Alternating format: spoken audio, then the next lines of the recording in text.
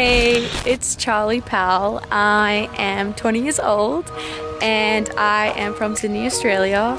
I just moved out here to LA um, to pursue my career in acting, which is super fun. Um, I've met some incredible people and I absolutely love it. I just um, moved off campus, so I have my own place now. And yeah, I just, in my spare time, I try and just collaborate with um, photographers and people and just like share um, personal creativity with them and just create some real amazing stuff. Um, I'm all about that.